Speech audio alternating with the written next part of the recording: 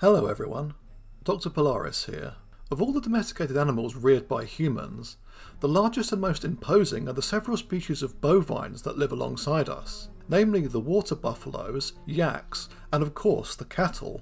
Utilised for their meat and milk, as well as their ability to pull heavy loads, these animals originate from several different species of wild bovines that were domesticated independently multiple times and in multiple places. However, the subject of today's episode, the fearsome extinct aurochs, gave rise to the so-called taurine cattle that originated in Eurasia and Africa, and were then later exported around the world beginning in the early modern period. This impressive animal, while generally similar to some of the more archaic modern cattle breeds in appearance, possessed its own unique suite of anatomical traits. For one, the skull was proportionally larger and more elongated than in domestic cattle, while the legs were longer, with the overall build being more athletic, possessing strongly muscled necks and shoulders. Although overall size varied by location and time, the aurochs was generally larger than domestic cattle, with the most massive bulls standing about 6 feet tall at the shoulder and weighing up to 1,500 kilograms, or about 3,310 pounds. Significant sexual dimorphism was present, with bulls being much larger than cows. Mature males were also black in colour, with a white stripe running along the back, while the cows were reddish brown. Like their modern relatives, aurochs almost certainly lived in small herds, particularly during the winter, while these groups fractured during the summer months. Social status in the herd was probably established by fighting and display, with both bulls and cows taking part. During the mating season, bulls would engage in violent clashes in order to establish breeding rights, with fossil evidence suggesting that these encounters could be fatal. Calves were born in spring and would have stayed with their mothers until they were strong enough to join the herd. The young would have been preyed upon by a variety of predators, including wolves, hyenas, and brown bears while the herd would have provided quite a formidable protection, as in many wild bovids today. According to historical records, the aurochs was fast for its size and could be incredibly dangerous when provoked, having little fear of humans. Classified as Bos primigenius, the aurochs first appeared during the Middle Pleistocene, roughly 780,000 years ago.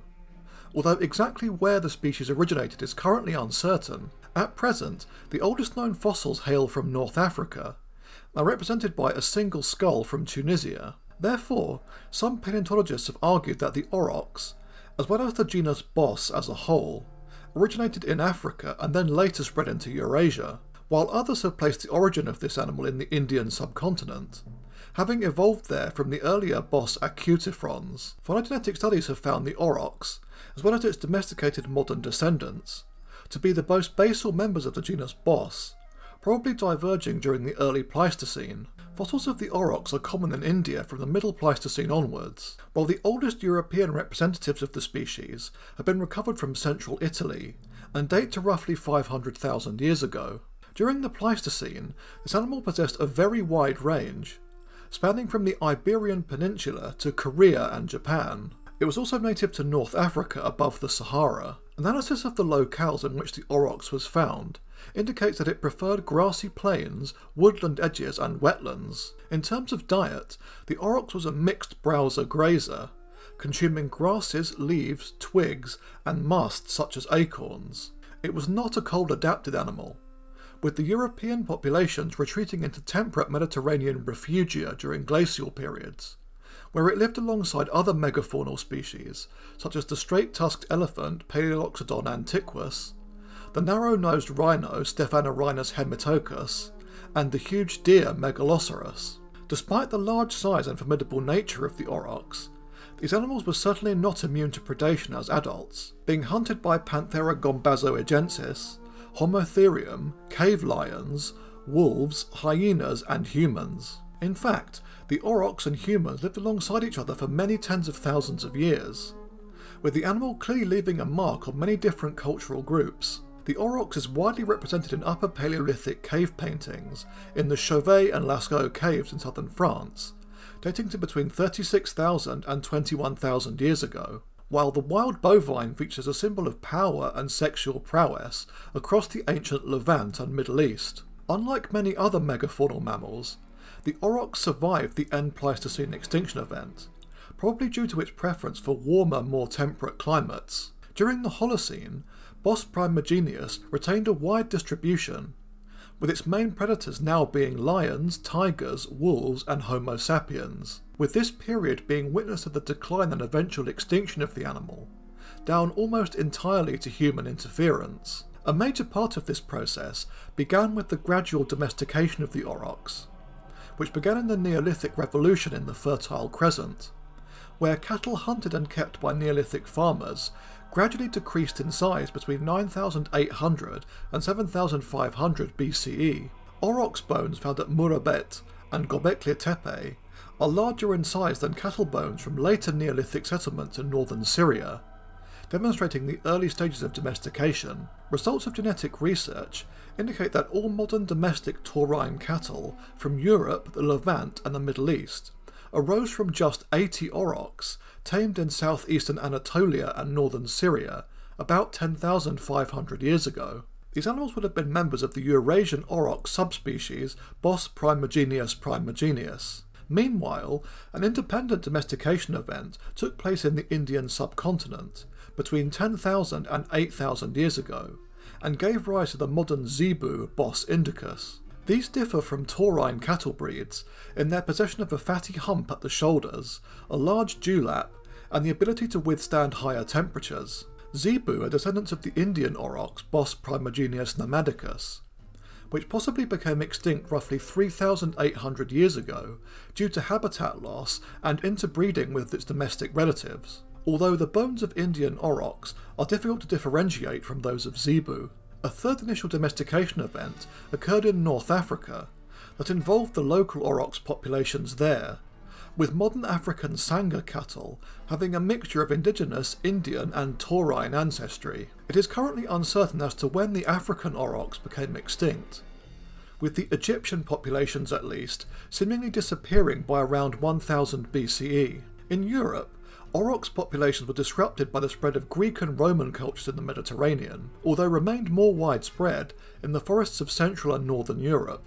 In southern Scandinavia and the British Isles, the animal died out roughly 3,000 years ago due to the felling of its preferred forested habitats, while in Eastern Europe the aurochs survived much longer, persisting in marshy woodlands while being hunted by members of the nobility. The range of the species contracted until the last known individual, an adult female, died in 1627 of natural causes. However, a horn core excavated in 2020 in Sofia, Bulgaria, was identified as being from an aurochs. The archaeological layer in which it was found was dated to the second half of the 17th or the first half of the 18th century, suggesting that the aurochs may have survived in Bulgaria until that date. Despite the extinction of the species, there have been several attempts to resurrect the aurochs beginning in the 20th century.